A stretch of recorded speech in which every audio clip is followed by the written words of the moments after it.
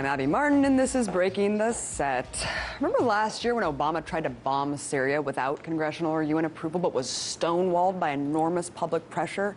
Well, the empire never lets a little thing like public opinion get in its way, which is why it turned to another tactic to get people on board with yet another illegal war. Scare the hell out of everyone. See, for weeks, the corporate media was fear mongering us about the threat of ISIS to establish a global Islamic caliphate. Once intelligence officials and even Obama himself admitted that this extremist group actually posed no imminent threat to the U.S., they had to think of something else. Enter the Khorasan Group, an organization comprised of veteran Al Qaeda fighters and jihadis from Afghanistan, Pakistan, and Europe that allegedly traveled to Syria to link up with al Nusra. According to an AP report on September 13th, the group, quote, poses a more direct and imminent threat to the U.S., working with Yemeni bomb makers to target aviation, American officials say. According to classified U.S. intelligence assessments, the Khorasan militants have been working with bomb makers from Al Qaeda's Yemen affiliate to test new ways to slip explosives past airport security. Oh my God, a new terrorist group that actually does pose a threat to the U.S. and could be boarding airliners with toothpaste explosives at any minute. Yes, that narrative was picked up by almost every establishment journo across the corporate media who seemed giddy to have gotten such a scoop from anonymous government officials. One small problem, though, the group was entirely concocted by the government. According to Glenn Greenwald and Murtaza Hussain of The Intercept, the Khorasan group doesn't really exist. In fact, a Nexis search shows almost no mention of the name before that AP report. Former terrorism federal prosecutor Andrew McCarthy is also calling out the scam, writing, You haven't heard of the Khorasan Group because there isn't one. It's a name the administration came up with, calculating that Khorasan had sufficient connection to jihadist lore that no one would call the president on. He's right. No one did. Instead, DC journos were eager to become pawns to regurgitate the carefully crafted propaganda. And here we are, our Nobel Peace Prize winning president now embroiled in his seventh war against a Muslim country. New York Times journalist James Risen said it best when he tweeted the Khorasan group is kind of like the Kardashian group. They became famous even though they've never really done anything. Apparently, that's what the war on terror has become life imitating reality television. Now let's break the set.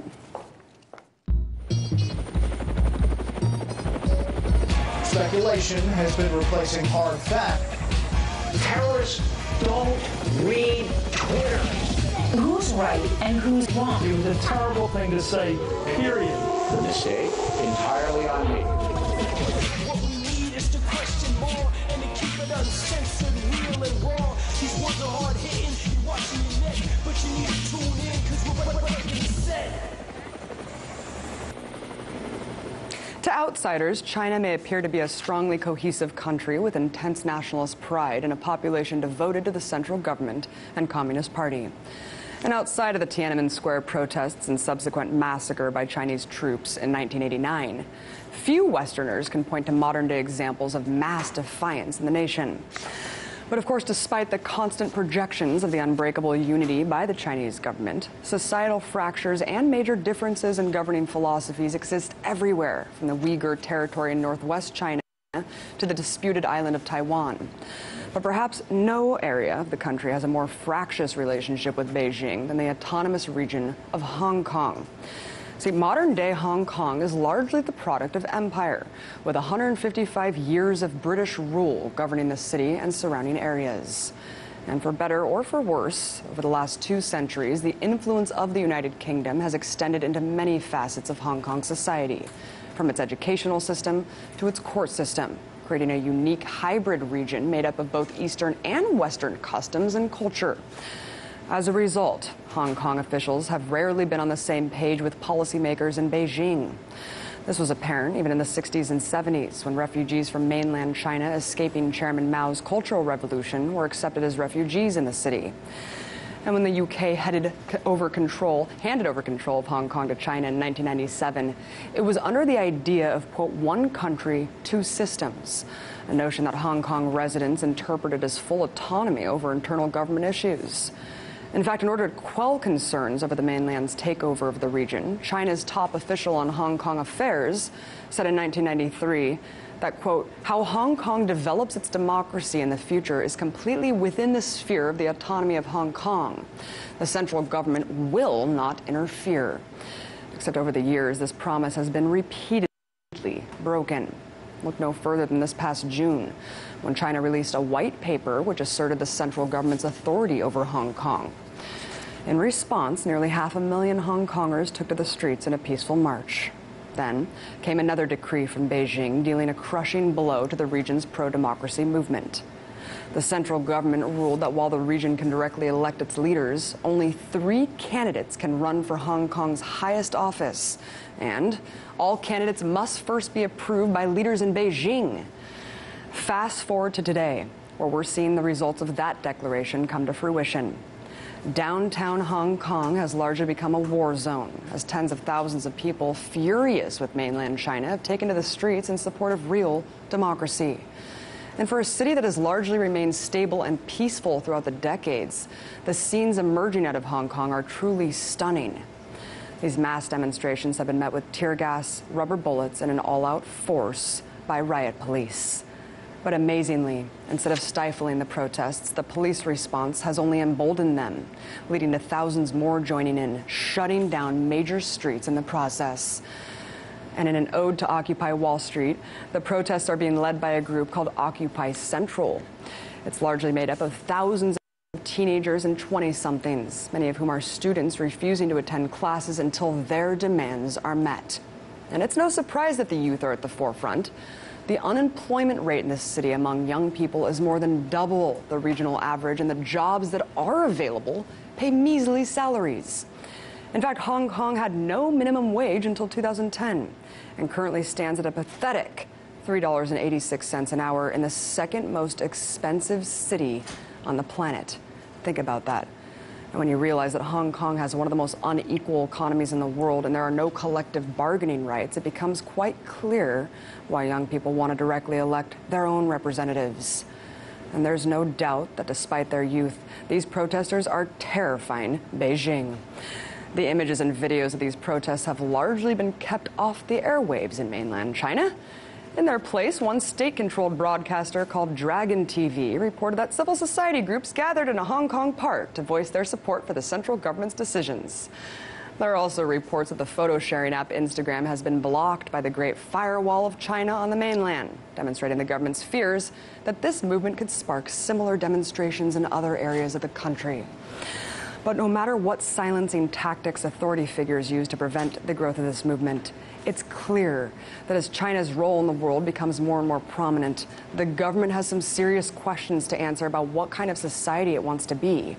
One that stands for human rights, freedom of expression, and the will of the people, or one that perpetuates violence, censorship, and authoritarianism.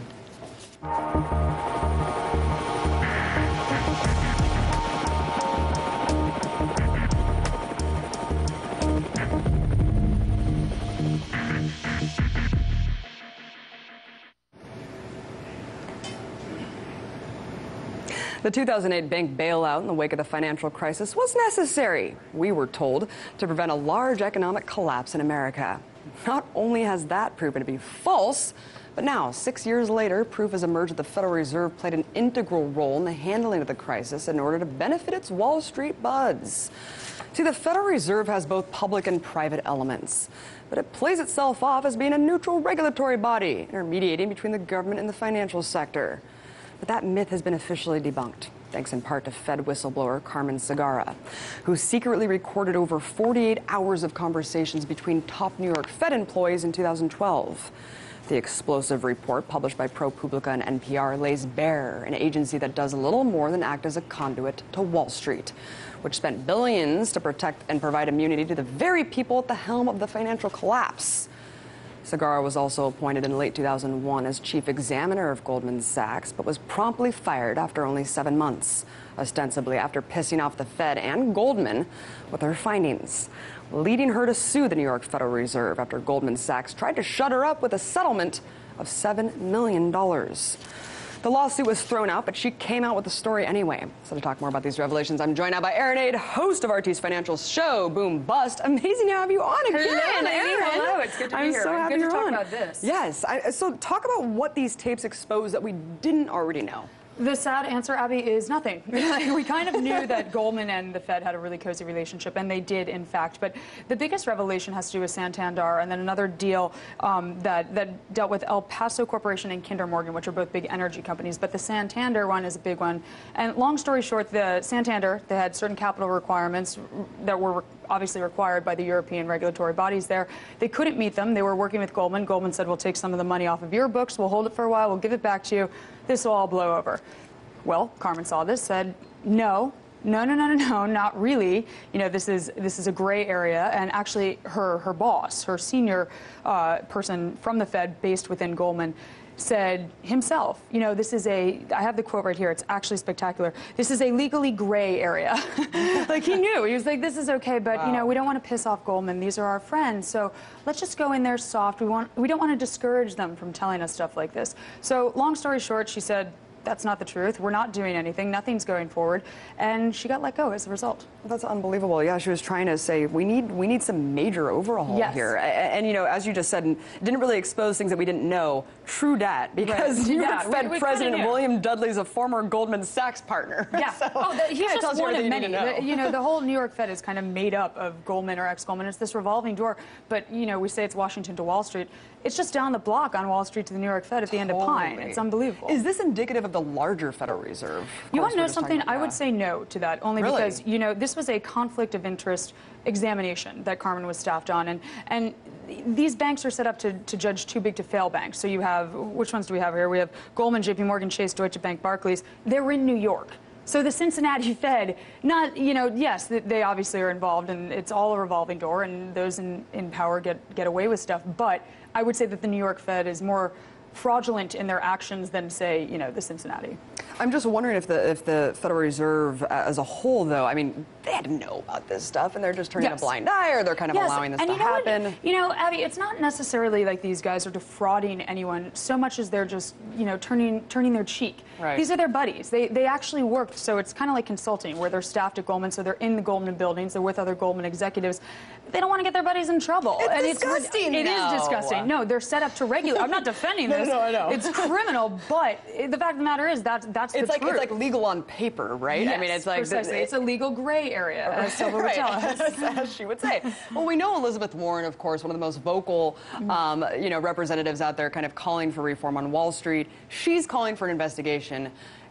What's going to happen here? Do you do you think that any sort Honestly, of reform is I actually mean, going to come out of this? Uh, Like blind optimism, I would hope so. I really, in reality, no, I don't think anything will come out of it. I think that Elizabeth Warren, while I do respect all of the things that she's done, and, and she has been a huge proponent of regulation, you know, the reason Carmen was put in place, the Fed has acknowledged that they need massive reforms and that they need more regulation coming out and, and going on. Yet they're firing the people actually employing the regulation they insist upon. So, as much as I would like to say that Elizabeth Warren will make a difference, I don't think she will. Well, it's a total mess. Uh, thanks for coming out and breaking Thank it down, Abs. Erin Of course, Amazing to have you on. Thanks so much. Coming up, I'll talk about why a settlement between a Native American nation and the government isn't all that it's cracked out to be. Stay tuned.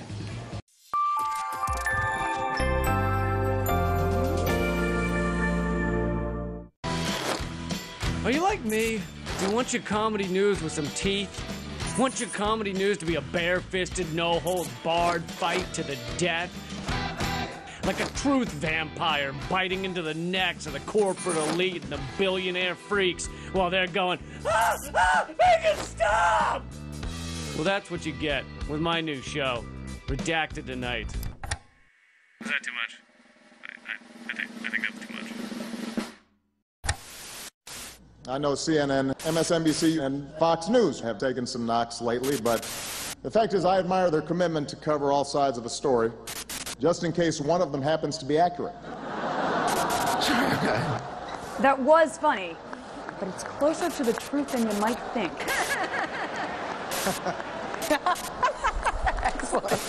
Because when politicians and the mainstream media work side by side, the joke is actually on you. At RT News, we have a different approach. LOL. Because the news of the world just is not this funny. I'm not laughing, damn it, I'm not laughing.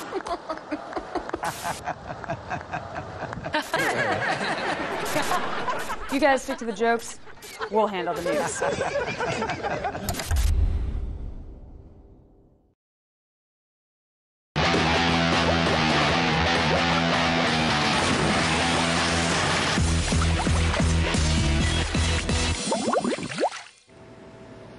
When European colonists landed at Plymouth Rock nearly four centuries ago, the evolution of America as we know it began. That moment was also the beginning of centuries of environmental degradation and genocide for the people native to the land. Now, in the year 2014, Native American reservations are some of the most oppressed and poverty stricken regions in the country. And this week, the U.S. reached what's been called a historic settlement with one of those indigenous nations, the Navajo, which encompasses a 27,000 square mile reserve stretching across New Mexico, Arizona, and Utah. The agreement requires that the government pay the nation $554 million. In return, the Navajo will dismiss a lawsuit filed against the government for alleged abuses on the land. Sounds fair, right? Well, despite the fact that the Navajo Nation President Ben Shelly has called the settlement a victory, it turns out the deal is far from just.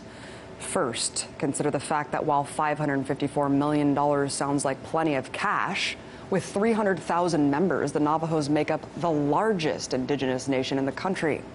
A quick calculation will show you that each member will only receive a little more than $1,800 each. And that's if the money is distributed equally, which is highly unlikely.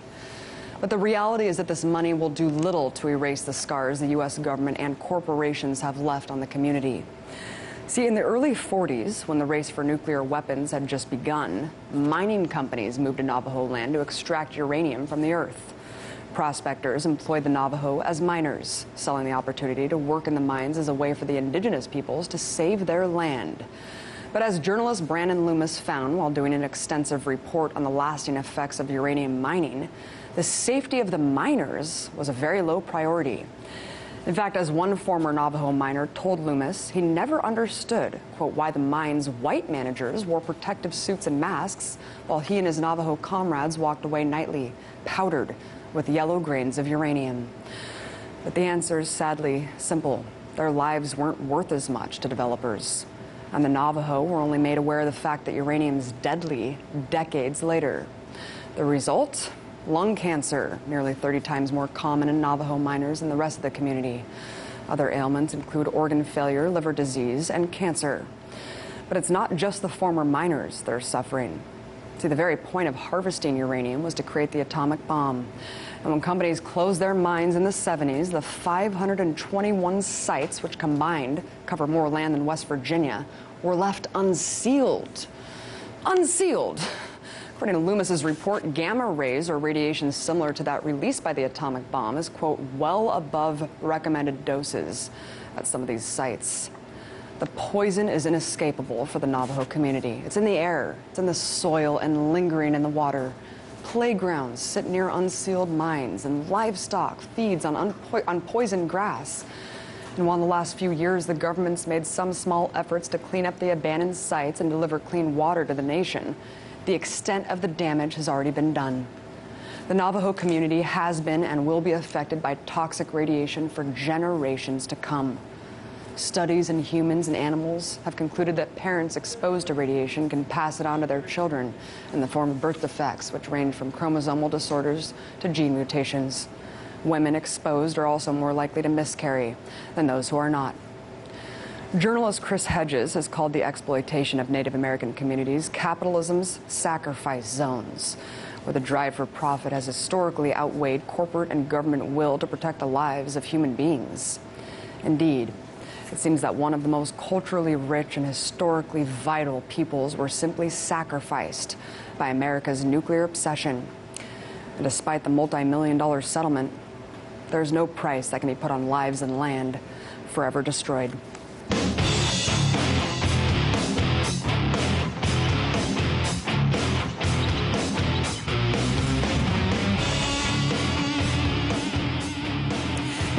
Nations 69th General Assembly comes to a close this week.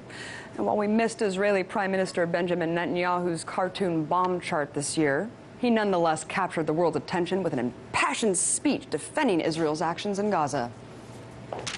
As Israel surgically struck at the rocket launchers and at the tunnels, Palestinian civilians were tragically but unintentionally killed.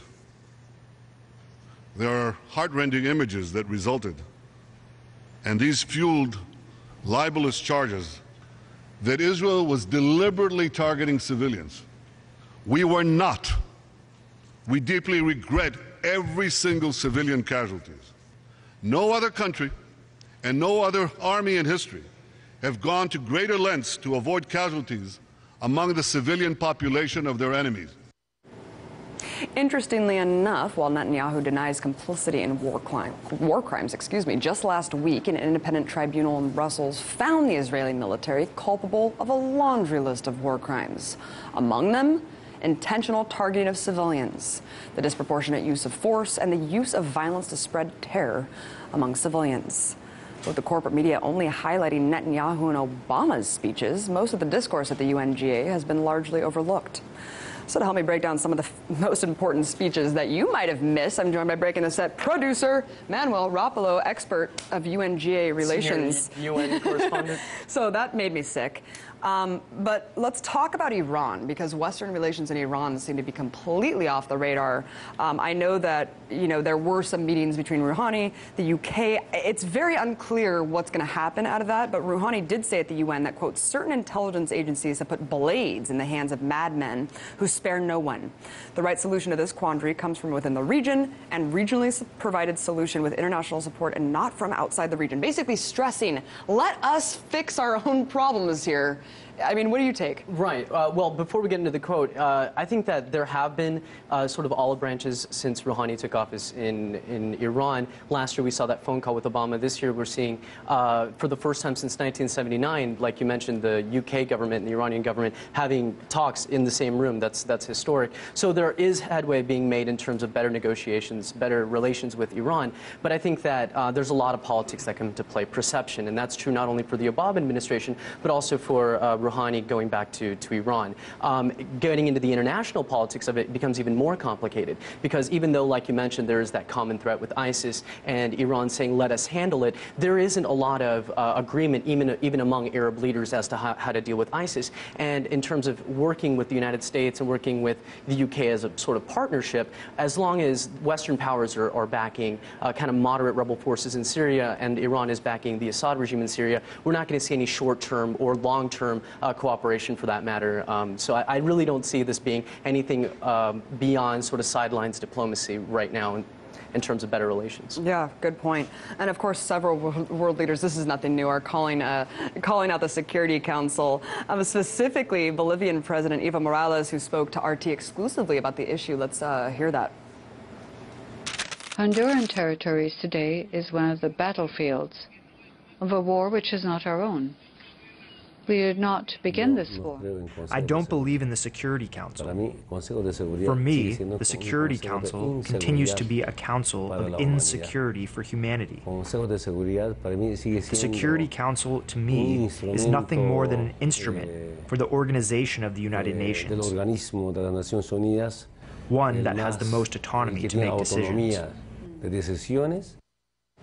First clip was the Honduran president talking about the drug war, which we'll hear later. But let's talk about why this body is so controversial and who else expressed concern over it. Right, because it's not just Bolivia, it's not just Argentina or the non-nuclear countries that are opposing and calling for a reform of, uh, of the Security Council. It's the G4 countries, India, Brazil, um, Germany, Japan. These countries are all calling for reform. Uh, and it's for a variety of reasons. It's, it mainly comes down to membership, the fact that there's five permanent members. Countries are calling for there to be more membership. Other countries are calling to have the permanent membership completely abolished. Aside from that is the veto powers. These five countries, uh, France, Russia, the United States, China, uh, they have veto power over, over any resolution that goes through the Security Council. Consider that a Harvard working paper in, uh, has pointed to the fact that since 1982, there have been at least 32 resolutions critical of Israel that have been vetoed by the United States. That's twice as many vetoes as any other member state has ever done. And this is a valid criticism, I think, for any member. Uh, Russia Russia, for example, uh, vetoed a resolution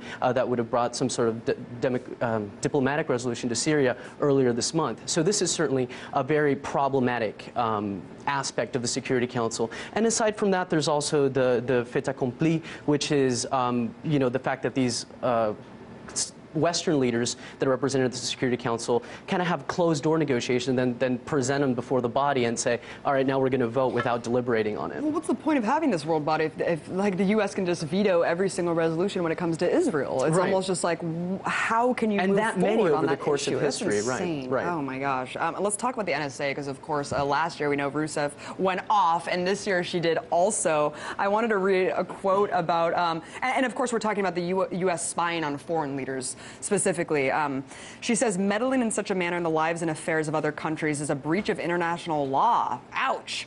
And as such, is an affront to the principles that should otherwise govern relations among countries, especially among friendly nations. What other diplomatic blowback have we seen from this leak? I think it's been widespread, and I think that the the talk about ISIS with ISIS, Ebola, uh, Ukraine, Syria, um, Iraq. This is all kind of uh, distracted, distracted from, from the NSA scandal. But last year, this, this was huge. And I think it's important that the Brazilian delegation, uh, the Brazilian president, is highlighting it once again so that we don't forget that even though uh, this is sort of being brushed aside, this is very much still a tense topic. Germany, we've known, uh, have been pissed off about this since last year, but they're not trying to rock the boat. Uh, diplomatic ties are stretched with, with Russia, they're stretched with, with Brazil, with Ecuador, and a whole host of other countries, including Afghanistan. We've seen the, pres- the outgoing president of Afghanistan, Karzai, uh, kind of uh, thank everybody but the United States as he's as he's leaving office, and that's part of that kind of. Uh, NSA sweep, that whole scandal from last year. It's still very relevant today, I think. Uh, and let's hear that, that clip that we, we started to hear um, the Honduran president talking about the drug war, another issue that's totally swept under the rug. Honduran territories today is one of the battlefields of a war which is not our own. We did not begin this war. The strategies are decided upon outside Honduras. We cannot uh, allow that in the midst of the crisis, without reaching useful, solid conclusions, a proposal based, on the one hand, on legalizing production, and on the other, uh, making traffic and consumption of the drugs illegal. And these are based on uh, waging an all-out war on all fronts, no matter what the cost. Manny, you're Honduran. You've been covering this issue, of course, for years. Talk about what exactly he's calling for uh, to solve the drug war. Right. I think uh, ultimately, this is one of the most important uh, speeches uh, that I think was overlooked. This is a call for visibility, to acknowledge that the drug war, the humanitarian crisis in Central America is just as important as any refugee crisis going on in the Middle East or elsewhere in the world. And so um, what's different about this and what the Honduran president was outlining, the presidents of Honduras, Guatemala, and El Salvador were outlining at the UNGA, is that this is different because the humanitarian crisis is now right here at the doorstep of the United States. By year's end, we're going to have 90,000 undocumented uh, migrant children, refugees coming into the United States. This is very much a problem uh, of U.S. policy. And the fact of the matter is that with Honduras now being the murder capital of the world, Central America being so unstable, it all ties back to U.S. policy, and that's something that needs to change. Right, and I think the biggest point is that we didn't hear about any of these people on the mainstream media. All we heard about was Obama's speech, Netanyahu's speech. All these people were condemning the U.S. for its policies, and that's why we're highlighting them today, because all these world leaders are equally as important. Thank you so much, Manny, thanks, for covering it. Uh, thanks for thanks for watching, you guys. Be sure to follow me on Twitter at Abby Martin. Join me tomorrow when I break the set all over again. Life imitating reality television. Now let's break the set. Speculation has been replacing hard fact. Terrorists don't read Twitter. Who's right and who's wrong? It was a terrible thing to say, period. The mistake entirely on me. What we need is to question more and to keep it uncensored, real and raw. These words are hard hitting,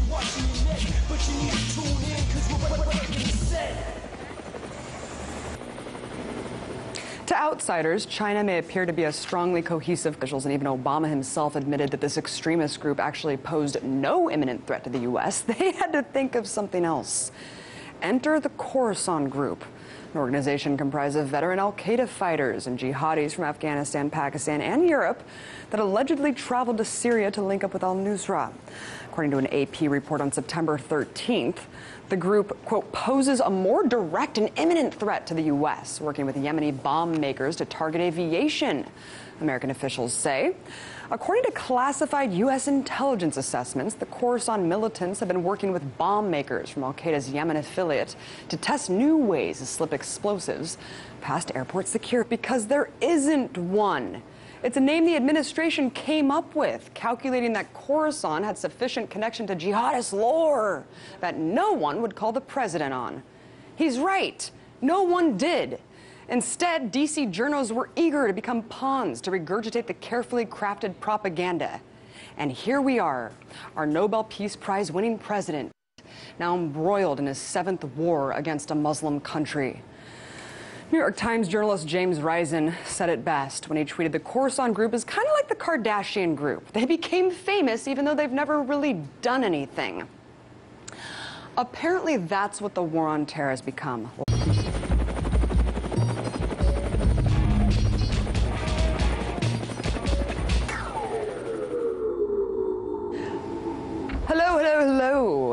Abby Martin, and this is Breaking the Set. Remember last year when Obama tried to bomb Syria without congressional or UN approval, but was stonewalled by enormous public pressure? Well, the empire never lets a little thing like public opinion get in its way, which is why it turned to another tactic to get people on board with yet another illegal war. Scare the hell out of everyone. See, for weeks, the corporate media was fear mongering us about the threat of ISIS to establish a global Islamic caliphate. But one's intelligence authority, oh my God, a new terrorist group that actually does pose a threat to the U.S. and could be boarding airliners with toothpaste explosives at any minute. Yes, that narrative was picked up by almost every establishment journo across the corporate media who seemed giddy to have gotten such a scoop from anonymous government officials. One small problem, though, the group was entirely concocted by the government. According to Glenn Greenwald and Murtaza Hussain of The Intercept, the Khorasan group doesn't really exist. In fact, a Nexis search shows almost no mention of the name before that AP report. Former terrorism federal prosecutor Andrew McCarthy is also calling out the scam, writing, You haven't heard of the Khorasan group